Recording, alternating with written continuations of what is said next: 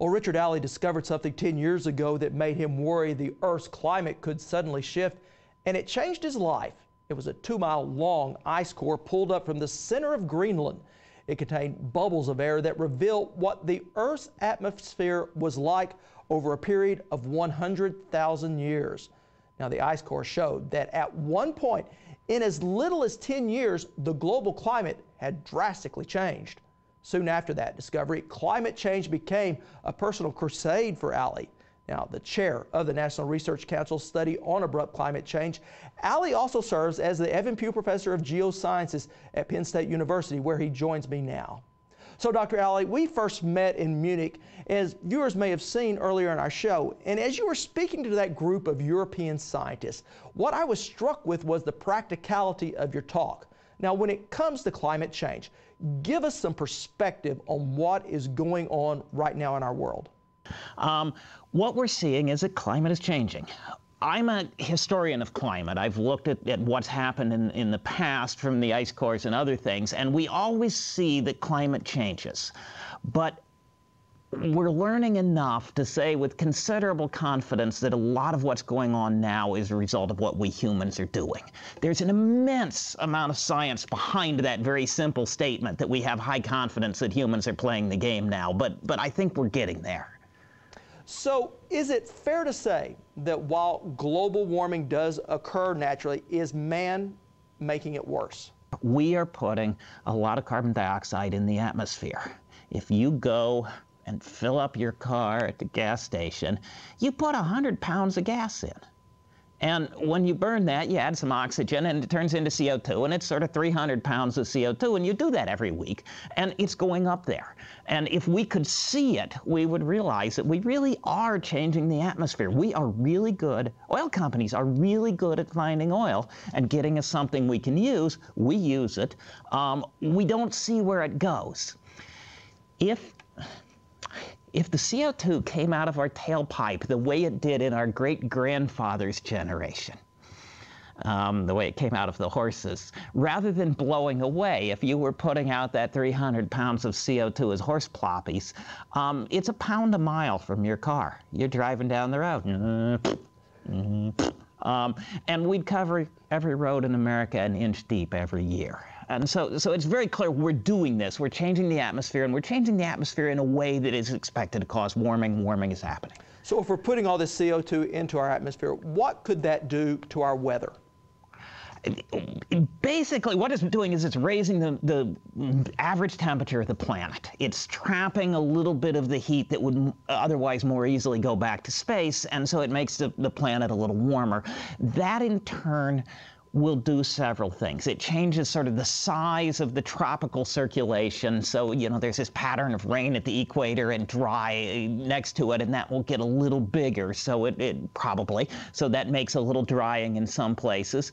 We are, um, uh, going to be melting back some of the ice and snow. Um, if it gets too warm, ice melts.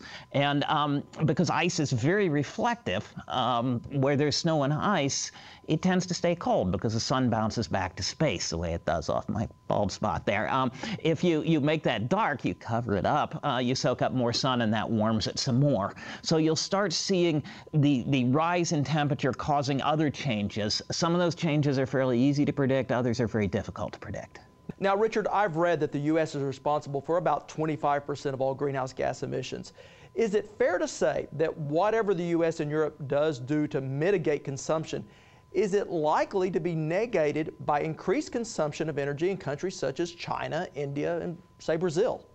Yeah, well, it, you know, it's clear that we enjoy what we get from using that energy. We have air conditioners and heaters and ambulances to take us to the hospital if we get sick. We like this. Um, and so we're using a lot of energy because it does good things for us. It's very clear that a lot of people elsewhere in the world also would like those good things, and they are highly likely to use energy to get there. So ultimately, if you talk about the global atmosphere, you're going to be talking about a global issue. Now, you mentioned the polar ice melt. If we see the polar ice begin to melt, what will that mean for ocean levels in, say, the seaside towns that the oceans are at? Yeah, sea level has been rising about that much a decade for the last century, and it's fairly clearly a response to warming. Some of that warming natural, some probably human. Um, and it comes from melting of mountain glaciers. Um, they, we can see in the Alps, we can see in the Rockies, the glaciers are getting smaller. It also comes from uh, the ocean itself expanding as it gets warmer. Uh, warmer water takes up more space. Um, there's a little bit, looks like it's coming from the polar ice sheets now. If you look into the future, if you melted all the mountain glaciers, you only get about that much more vertically in the ocean. And as you warm it up, you can get a little more. If you were to melt, say, Greenland, you get about 23 feet vertically. Uh, if you go to Antarctica, you can come close to 10 times more than that. So in terms of looking at what could sea level do, the big gorillas are the Greenland and Antarctic ice sheets. Um, we had hoped that as warming happened, that they'd get enough more snowfall on top that they would actually grow a little bit. The data that are just coming out, the brand new data the last few years, the data that are coming out seem to point to those ice sheets now shrinking in response to the warming. The snowfall is not materializing, they're melting on the edge, the ice is spreading and flowing faster. And so it looks like they're putting water in the oceans. So far, it's not much. But if warming makes ice shrink, which seems reasonable, and if we have a lot more warming, there's an immense amount of ice in those ice sheets. We don't believe that it can do anything really, really dramatic over, over decades, but you can imagine you know, 20 feet of water in the ocean or more over centuries. That's not a prediction. We're not sure. This is a hard one. But certainly warmer tends to melt ice. We see warming melting ice, and we think we're headed for more warming if, if we don't change what we're doing.